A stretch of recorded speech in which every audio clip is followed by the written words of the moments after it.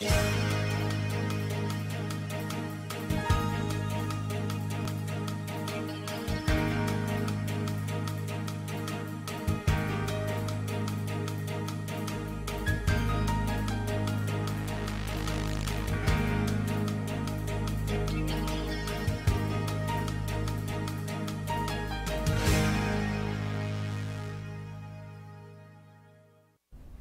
volta com Freud Explica e hoje falando sobre TDAH, transtorno e déficit de atenção. É, doutor Ronaldo, a obesidade, você me falou uma coisa que a gente realmente, eu nunca tinha pensado. Como é que a gente pode vincular a obesidade, a compulsão alimentar, ao transtorno de déficit de atenção e hiperatividade? Vejam, atualmente existem alguns trabalhos científicos é, fazendo com que você observe se pessoas com transtornos alimentares possam ter também um diagnóstico de fundo de transtornos de TDAH, porque uhum. deve ser atenção e hiperatividade.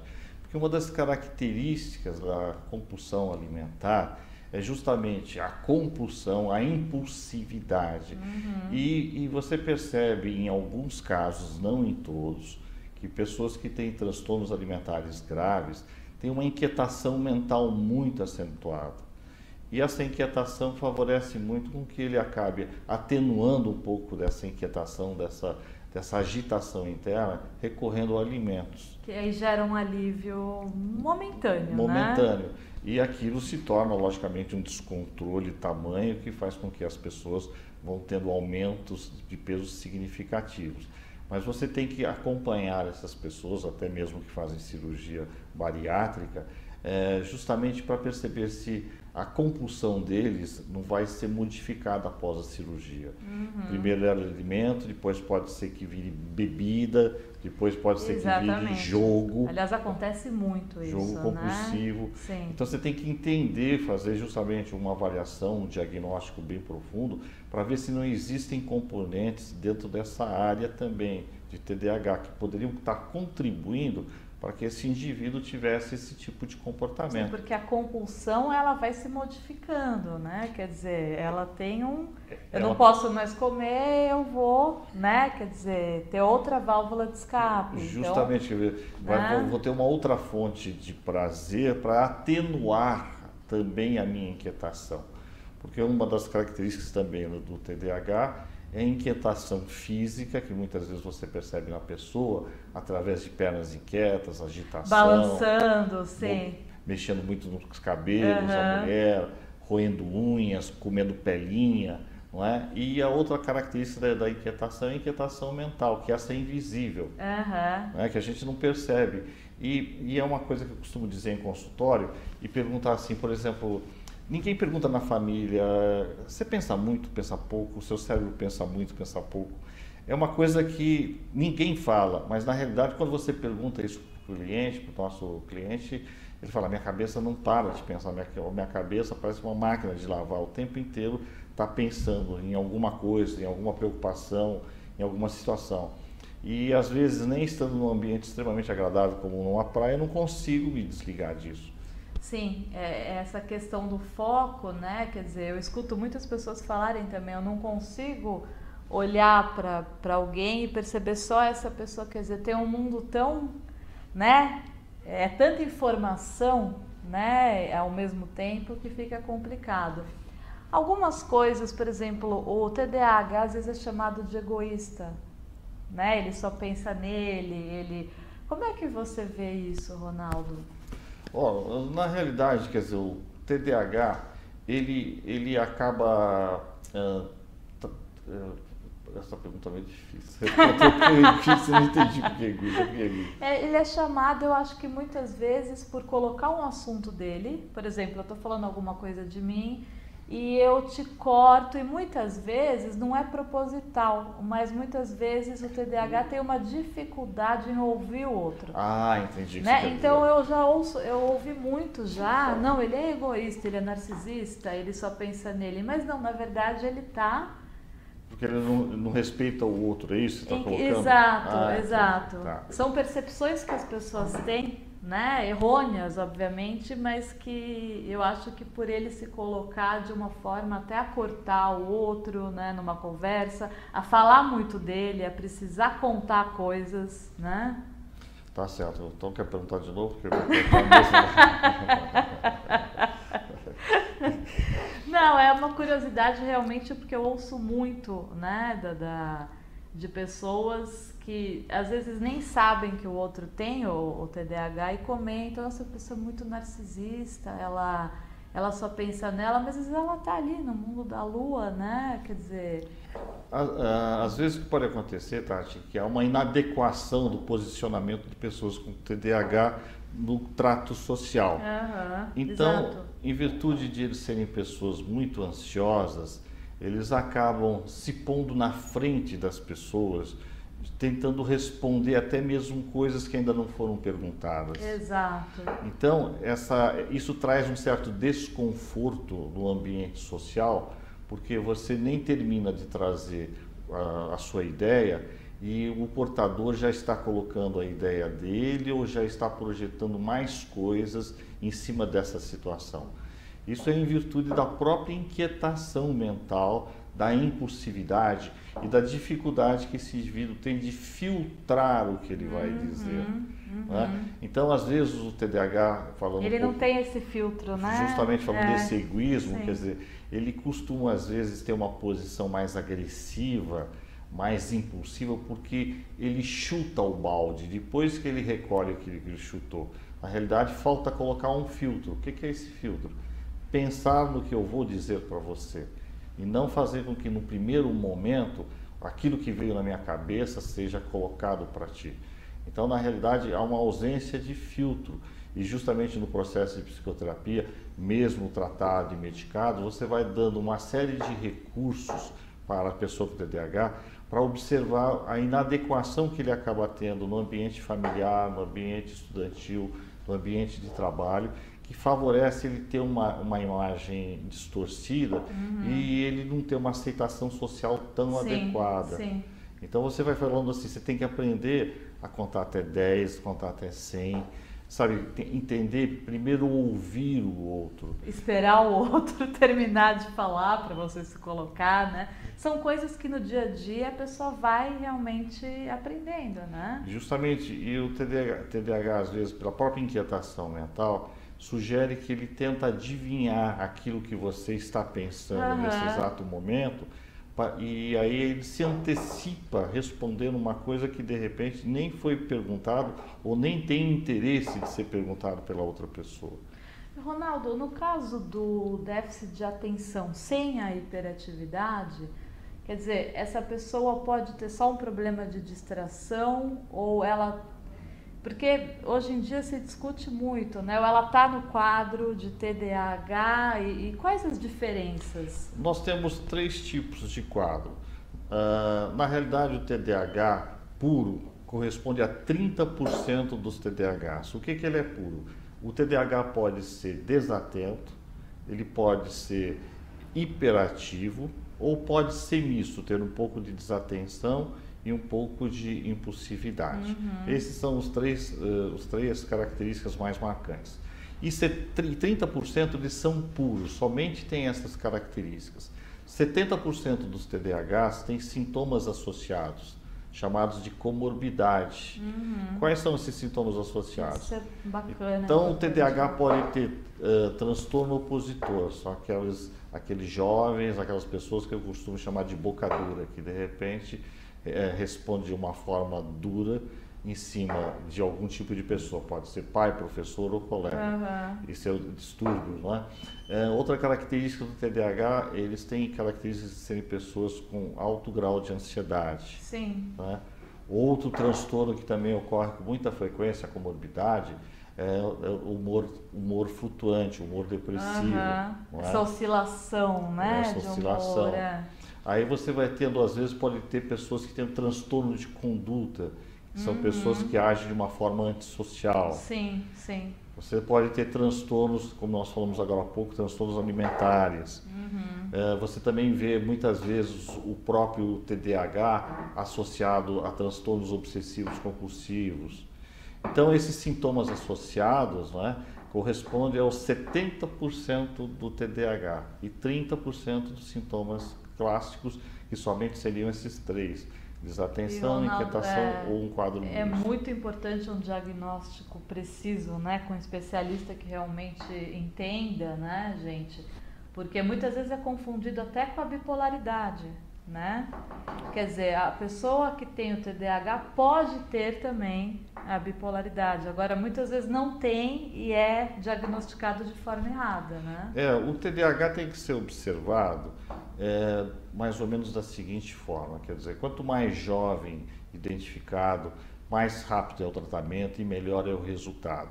Por que dessas características? Porque para que tenha TDAH, você tem que ter uma dessas características iniciais: a desatenção, a inquietação mental ou física ou a impulsividade. Isso tem que ocorrer em mais de um ambiente, ou seja, no ambiente de casa, no ambiente escolar, se for o caso, no ambiente de trabalho. E que isso... Desculpa te Oi. interromper eu posso, por exemplo, não ter nada de impulsividade, ou quase nada, ter uma impulsividade normal, entre aspas, e, e, e ter o, o, transtorno? Sim, você pode ter outro tipo de transtorno mais desatento, que teria uhum. um menor grau de impulsividade tá. e de inquietação, mas uhum. você também poderia ter esse transtorno.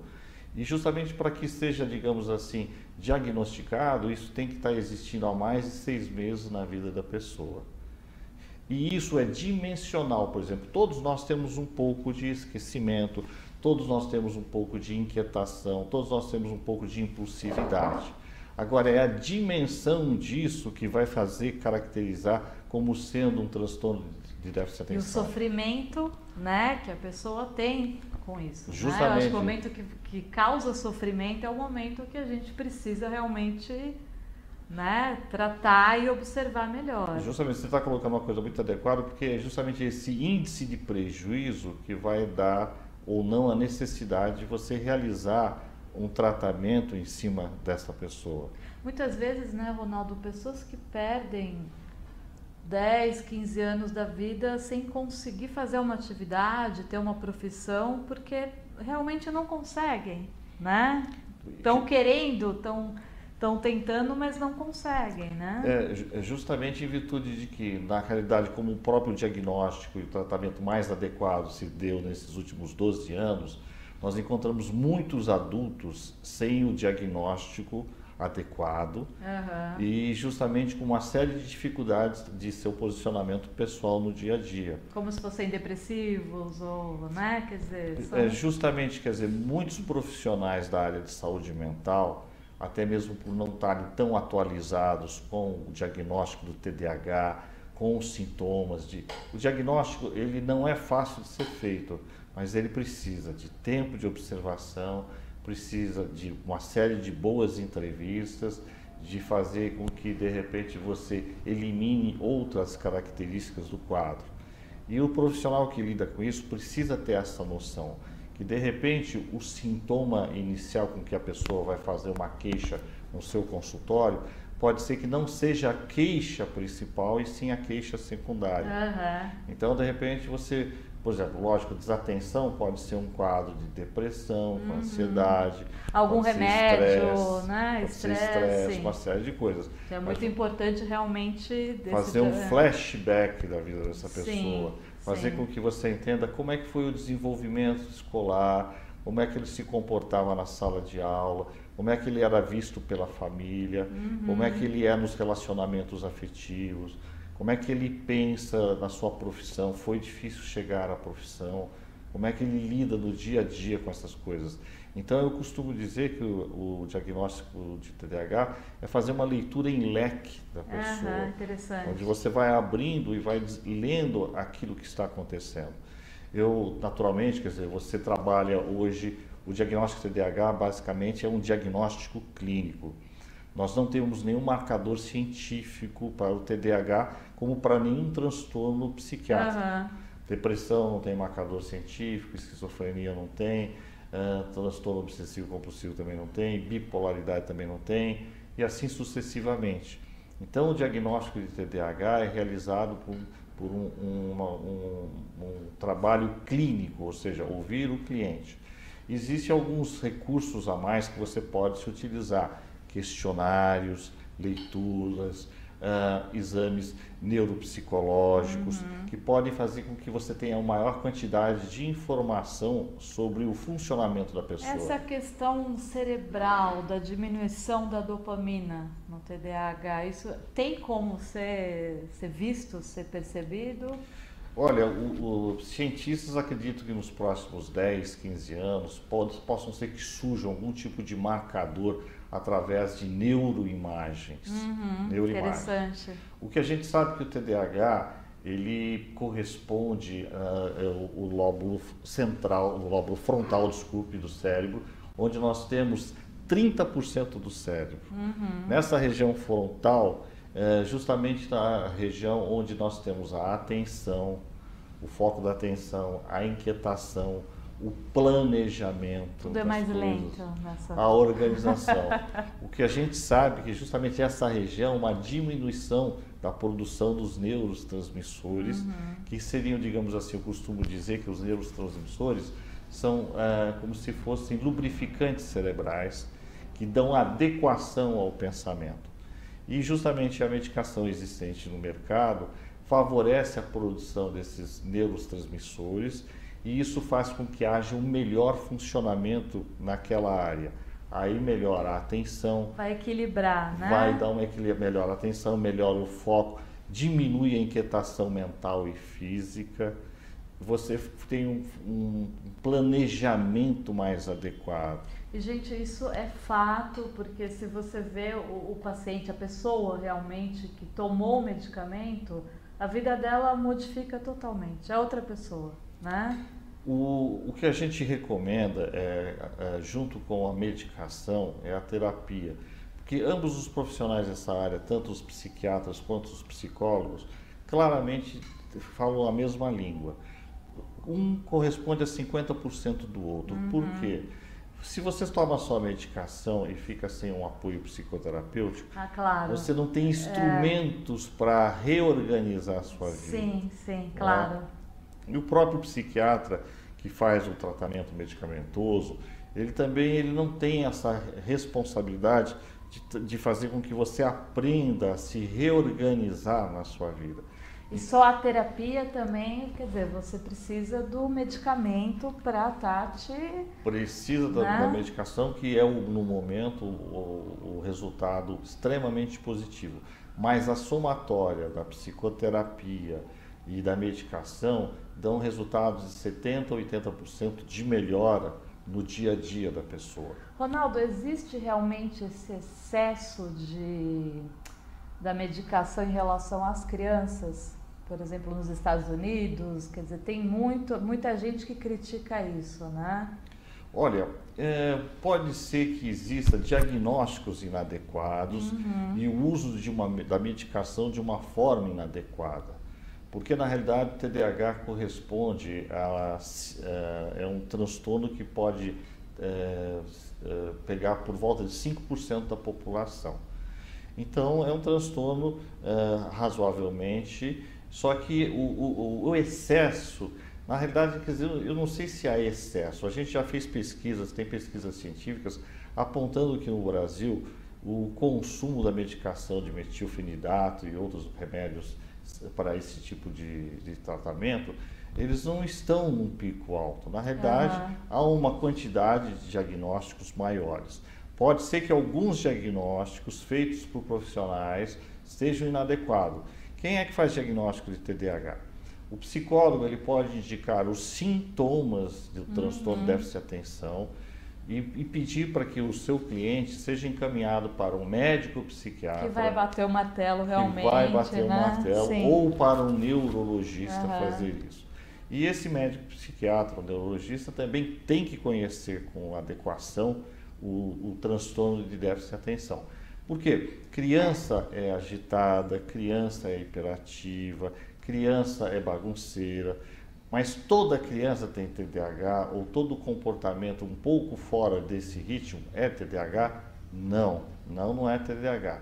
O que nós também temos, nós vivemos numa sociedade onde, onde nós temos é, mais flexibilidade de comportamento. Então as crianças são mais bagunceiras, elas são mais envolvidas numa série de coisas. Isso tudo é TDAH? Não. TDAH tem que ter continuidade, frequência, prejuízo. Uhum. É? Basicamente são essas características. Ronaldo, a gente conversou sobre a questão do amor, voltando um pouquinho. Você disse que o TDAH geralmente ele é mais possessivo, ele gosta de dominar a relação. Né? O, o que a gente observa no consultório é que algumas pessoas que têm TDAH e justamente pela própria inquietação mental favorece eles terem uma tentativa de controlar as suas relações de uma forma intensa. Uhum. Por que de uma forma intensa? Porque é, na realidade o TDAH por uma série de situações frustrantes na vida dele, de tanto, de tanto prever fracassos, ele vai tentando é, minimizar isso é, é, como se fosse um joguinho de xadrez, tentando adivinhar o que o adversário vai fazer. Uhum, tá. E nesse exato momento ele não percebe que isso também faz, parte, faz prática da vida do cotidiano dele. Quer dizer, ele pode até criar uma paranoia em relação ao parceiro, um quadro de ciúme. Ele pode criar controle. um mecanismo de tentar controlar, porque ele já sabe de antemão pontinhos Uhum, Entende? Exatamente. Na realidade, eu costumo dizer em consultório que o que você pensa, você, tudo aquilo que você fala, eu posso entender e compreender. Se você tiver uma expressão alegre, eu posso supor que você esteja feliz. Se você estiver com uma expressão triste, a mesma coisa, eu posso supor que você está triste. Uhum. Mas eu só posso entender o que você pensa quando você se expressa verbalmente. Claro, claro. O resto tudo é adivinhação. Uhum. Entende? É lógico que nós podemos ter uma sintonia e compreender determinadas coisas. Mas o que você está pensando e o que você está é, envolvida nesse exato momento, só você sabe. Eu não posso ter nenhum tipo de condição de entender isso, a não ser pela sua própria expressão verbal. Legal. Agora, alguns, algumas pessoas que, que, sofrem de TDAH ou são muito ansiosos, ou até que não, nem, nem sofrem do TDAH tem isso, quer dizer, eles têm uma expectativa de tentar compreender uma coisa que está dentro de você que ainda não foi manifestada. Infelizmente o tempo está acabando, mas eu, eu gostaria de perguntar uma coisinha. O hiperfoco, ele realmente, como algumas pessoas falam, pode levar à genialidade? Ou é porque a pessoa se concentra tanto naquilo? Porque realmente a gente vê pessoas que se destacam, né? TDAHs que se destacam muito em profissões, né? Isso é por causa do hiperfoco, porque o TDAH, quando ele ama o que ele faz, ele realmente. Quando ele ama, ele tem um interesse muito grande. Quando ele não gosta, ele não quer nem tocar, né? Pode existir essa genialidade aí? Olha, é, na realidade, o TDAH ele, ele, logicamente, TDAH não é dividido dessa forma, mas a gente poderia fazer uma comparação que também existem graus de TDAH, uhum. como existem graus de miopia. Uhum. Então você pode ter um grau 1, 2, 3, 10 e assim sucessivamente. Quer dizer, se você tiver um impacto menor de todos esses prejuízos, pode ser que sua adaptação à sociedade, ao dia a dia, tenha maior facilidade. Mas na grande maioria, TDAHs em geral não tratados acabam tendo mais prejuízos, uhum. mesmo que tenham áreas em que eles tenham maior grau de sucesso. A gente não pode deixar de dizer que uma das maiores dificuldades do TDAH é desenvolver o planejamento das coisas. Então, você pode ter um super foco, que tem mesmo, quando você gosta de uma determinada coisa, Sim. você realiza aquilo eu, eu chamo também o superfoco nem um abajur. Você acende o abajur, ele faz aquele superfoco e você fica envolvido naquilo você não sai horas, daquilo, dias né? e, e, se apaixona por aquilo. E às vezes coisas pequenas que você precisa fazer, como pagar uma conta, e se tornam difíceis. Justamente né? porque você acaba tendo uma diminuição de interesses, logicamente, de coisas que não são tão atraentes e, e um, um prazer muito grande de fazer alguma coisa que te que te chamam para o prazer. Então, aquilo é um desafio, um prazer. Agora, aquilo tem que ser feito de uma forma que dê frutos, ou seja, uhum. você fazer com que as coisas ocorram é, com sucesso. E uma grande dificuldade do TDAH é a organização do seu planejamento. É, para terminar, o doutor Ronaldo, você que tem o TDAH, o é, que, que você diria para as pessoas que estão assistindo e, e que têm, que têm dúvidas se é mito, se não é. Gostaria que você deixasse uma última palavrinha aqui para gente. Marcelo, realmente eu sou portador de transtorno de déficit de atenção. Naturalmente eu descobri isso fazendo, uh, como psicólogo, descobri isso de uma forma mais tardia, justamente eu, quando começou a surgir os primeiros diagnósticos de DDA na época, hoje transtorno de déficit de atenção e hiperatividade. Na realidade, o TDAH em geral, ele traz prejuízos. Por que prejuízos? Porque as dificuldades escolares, a diminuição da sua própria autoestima em virtude desses fracassos, as dificuldades que muitos TDAHs têm de ter uma memória mais prodigiosa, é, faz com que de repente a sua própria segurança venha de uma forma ameaçada. Para você superar isso, você precisa de, de recursos, quer dizer, focar naquilo que você gosta, desenvolver uma atividade, uma profissão que perceber que você tem condições de levar adiante. E hoje, percebendo é, essas características, eu também tenho uma filha portadora de TDAH e que isso me ajudou muito, entrando nesse mundo TDAH, estudando TDAH, participando da Associação Brasileira de Déficit de Atenção, é, me ajudou muito a diminuir e minimizar qualquer tipo de a, a, é, prejuízo maior que minha própria filha poderia estar tendo no dia de hoje. Hum, hoje ela é uma universitária, é estagiária, trabalha, namora, tem uma boa autoestima, reduziu todas as dificuldades que ela tinha então, isso faz com que a gente perceba que quanto mais cedo você começa um tratamento, melhores resultados você vai ter. TDAH é para sempre, quer dizer, o tratamento atenua todo esse processo. É o mesmo processo de um óculos. Você tem miopia, é para sempre, você vai se utilizar de uma adequação através de um óculos. Você vai aprender a. Né, vai aprender a, a conviver com essas situações. Então, se você tem é, eh, TDAH, suspeita que seu filho tenha TDAH, é, procure entrar em contato com profissionais, busque o site da Associação Brasileira de Déficit de Atenção, tem várias informações, várias, várias coisas importantes para você compreender um pouquinho mais esse mundo e, quem sabe, com isso, diminuir o grau de, de, de sofrimento, diminuir o grau de prejuízo que alguém é, da sua própria família possa vir a ter. Doutor Ronaldo, muito obrigada Tá. Muito obrigado a você, Tati, pelo convite. Adorei. E, e nós estamos à disposição de estarmos muito, aqui muito mais obrigada vezes. mesmo, ao E quero Ronaldo. convidar você para conhecer a nossa associação. Com certeza vou, eu vou participar, tá? tá obrigada, BDA, obrigada, doutor Ronaldo. Até sexta-feira.